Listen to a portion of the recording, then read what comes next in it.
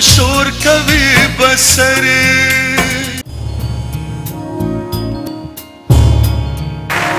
شیلو جی سر د فراش دا کسان هم ځان سره راواله بابا صاحب کو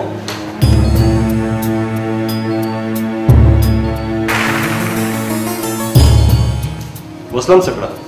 افغان جی کشر خان نه رکړی دا کشر خان سه اختیار دی چې زما د سړو فیصله کوي شیرو جی خان بدر صاحب دا کلی چا دی د چا دی دا کلی دا کلی ستاسو دی صاحب او دا ځمکه د چا ده زر ووایه دا ستاسو دی صاحب او اختیار د چا دی اختیار هم ستاسو دی صاحب زما دی که نه او صاحب بیخي ستاسو دی دې کې څوک چوڼ نشي کولی نو بیا ورشه او وسله راواله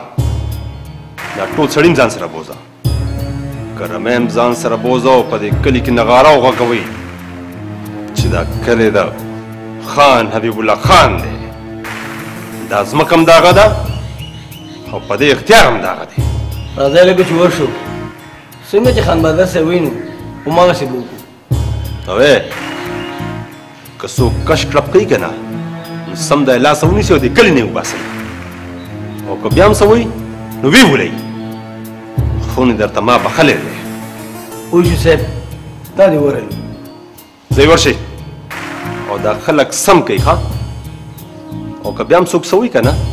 نو په ګولو یې چټني کوي ما ته ځمکه پکار ده ځمکه خلک نه زو صاحب چې هغه نسې درشي زرغون زرغون ولې زرغون ته سوای او ټول وسله مر سٹور کې هغه بند کړی دا او چا بیان مګه سره دی زرغون هغه لښتینه ولې دا غسه اختیار دی اختیار خو زما دی زما ودې زبردست چې رقصه مې کوه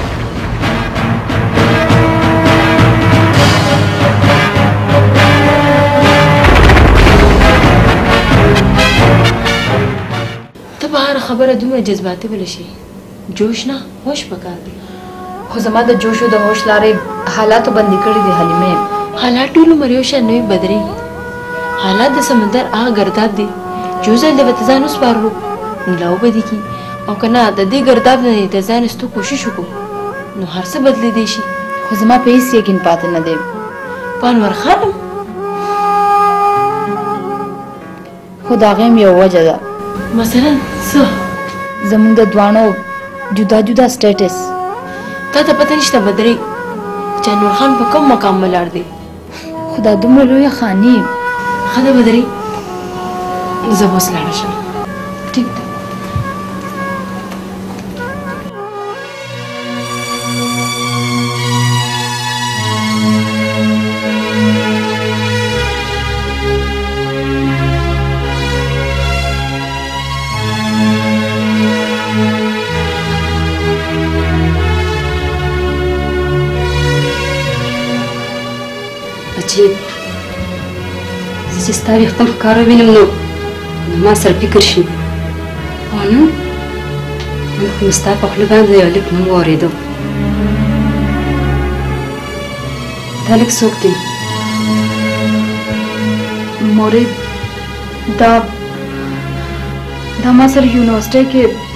داسې سوري ځان سره مه ګرځوه چې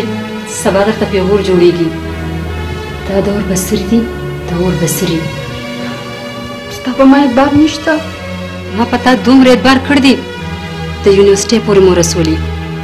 خو دا تپوس مې نه دی کړی چې په یونیورسټۍ کې ستا ژوند څنګه دی زما د سبحان په وینې اعتبار دی ما شاته خپل بل ته ونه کتل په خپل ځان مې سختې تېرې کړې خو ته ته مې د اور د لمبونه بچو ساتلې اوس اوس هر څه ستا لاس کې دي بچې مورې تاسو به ما شک کوئ شک نه دی خو ته زمانې د باد په روح نه پوهېږي مورې ستا په سترګو پوهېږم ټول جون راته معلوم دی او په اوښکو کې د انتظار په کیفیت هم پوهېږم مورې په ما باور وکړه زما په تا باور دی بچیه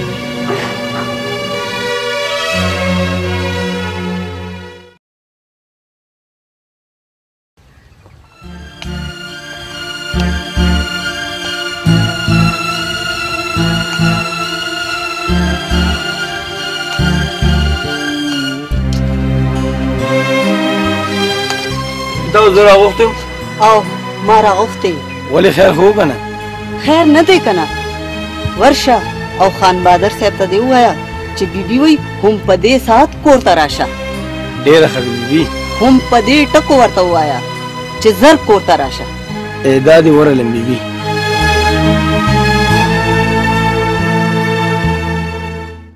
بس زه به هغوی سره خبرې وکړم ښه تاسو بېخي کړه شئ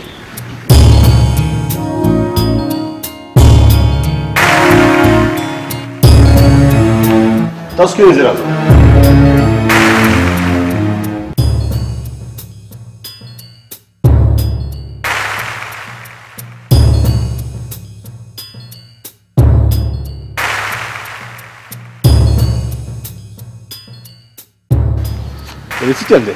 چې بیا بیا راپسې سوال جواب رالیږي ستا مازغه خو نه دی خراب شوی خان بادر صاحب ولې څه چل دی تا زما نوسی ولې ووالو د ده چرته نه کاري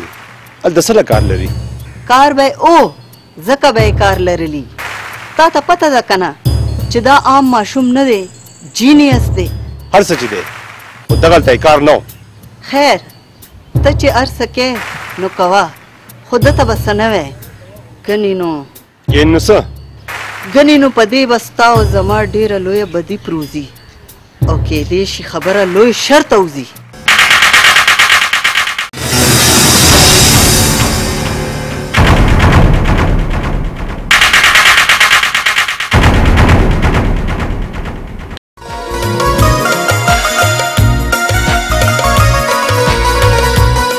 چرته ځي خیر شه ولې دلم پلاو روړې دي د پلاو خوراک خو به ال خوندو کې چې زه ته یوازې چرته ناشته او خوړې دام دا سوګړه چې مونږ غواړو چې ته یوازې د سین په غاړه ناسو او خوري ډیر ورانه راځه را واپس شه چې دا پوله وکړو د کاکاجي او د چاچي سره یو ځای ته هم را سره خورې که نه ته خو راځه که نه لږه خوږه شانه تو خاندل بلې زما غاښونه دې یاد شوي دي زه درته یم ته ورانه ته وینا ډېر څوک وران دي ته که زه رښتیا درته ویم او که نه ته ډېره ورانه د کاکا لور رښتیا دې ویل د کاکا زویه راځه چې پلو وګوره کنه سونه په مینه مې دلته تیار کړی دی څنګه انکار کله کړی دی ته انکار کولی هم نشي نو ته انکار کولی شي نه بابا دومره زمونږ اختیار کم دی چې تا ته انکار وکړی شو شکر دی چې دومره روپ ومنې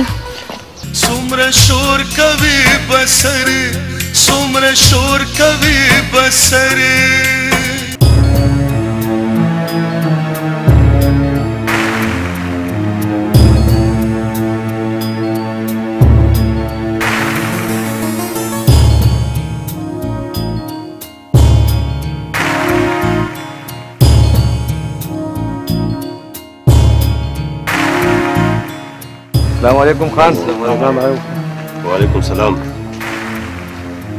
تاسو زما د خپل ډوخه نه ښکاري ولسی چل دی زه دومره بې خونده شوم په دې کې بې خوندې اسم نشته خان دا کلی زمونږ هم کلی دی هېڅ نشته دې کلي کې ستاسو دلته ستاسو هیڅ نه خرڅېږي صاحب زمین خپل کورونه دي خپلې برګیم دي ما تاسو له دوه شوه ورځو مهلت درکړی چې دا کلی پرېږدئ په تاسو کیسې کوئ ولې تاسو زما په وینا منلو نه زه تاسو ته څه ښکارم درېږه چې زه تاسو د خپل سرتېزۍ باندې پوه کړم خبردار دادا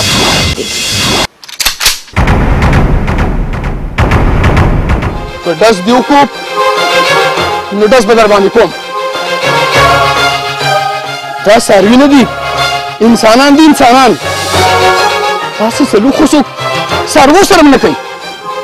زما په کار کې کار مه لره انور خانه تاسو ځئ کاکاجي نور زه پوه شوم زما کار ستاسو په ځای زه مرګ ته ولاړ یم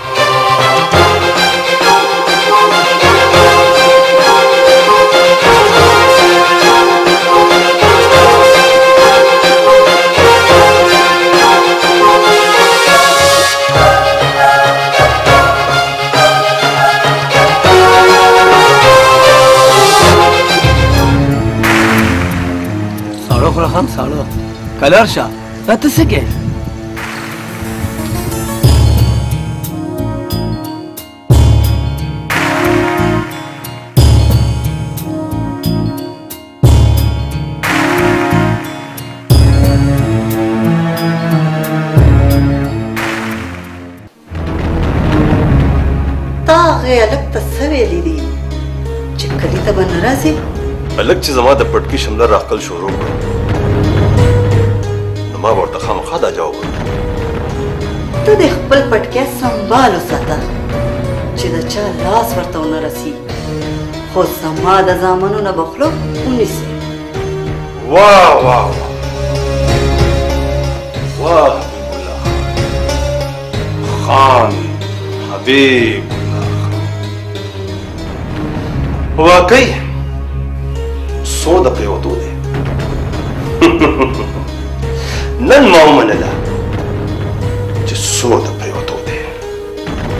زور د خپل خپې په کیزو کې او خپل واګې د خپل لاسونو کې مضبوطې ونیسي نو پروزي به نه خو یاد دې لري کنی نو کنی نو څه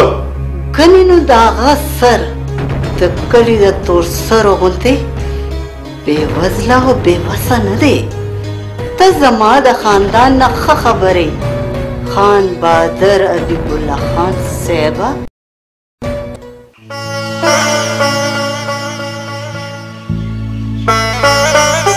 یاره که د خدای انصاف داره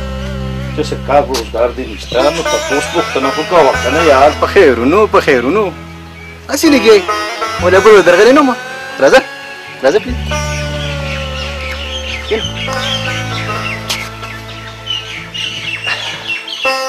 حاجي صاحب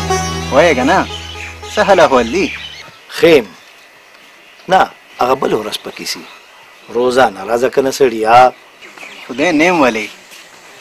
څه نوکري مې نه ده لګېدلې چې روزانه به روان یم نه نو ته دلته کومې مغولې کونډې خو هسې ټوله ورځ پروت یې که نه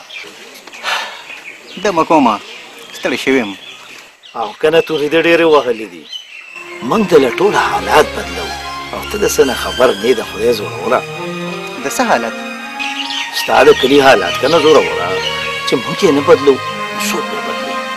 ستا د کلي خلک خو د پوی چندخان دي وایي که یو لوټ هم واړو نو د لوږې به مړه شو ای جي هغوی غریبانان خپله چاړه په خپلو اوبو کې ویني ولې دا کوشش ما یو ځل نه کړی چې ستا غونته اخلاصمن ملګري مې د ځان سره غرق کړل او ځان مې هم د کلي نه راورک کړو اوس زما او ستا هغه زمانه نه ده اوس حالات بدل شوي دي اوس د فرعون په کور کې موسی پیدا شوی دی ته د انور خان خبره کوې او تعلیم او پوهې د هغه شعور داسې بیدار کړی دی چې زما او ستا نه زیات د حق او د انصاف ملګری دی. او دا منم چې د خپل پلار حبیب الله خان د هر ظلم او د هر زیاتی ښه په ډاډ زړه باندې مخنیوی کوي. ښه نو ته داسې وکړه چې اوس څه پتری او ټانګر راواله او دا چاینک دې کېږده چې چای پخه کړي. زه تا له دې زیري له راغلی وم چې سبا نه بله ورځ زما په دفتر کې د ماښام د ټرسټ فاینل میټینګ دی. د پرس میټینګ او په دې میټینګ کې به اخري فیصله هم کیږي او د ډیرو اهمو رازونو نه به پردې پورته کیږي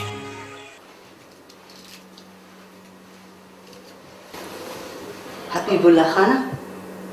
ما ستا د پاره د خوشحالۍ یو خبره جوړه کړې ده خوشحالي او په دې کور کې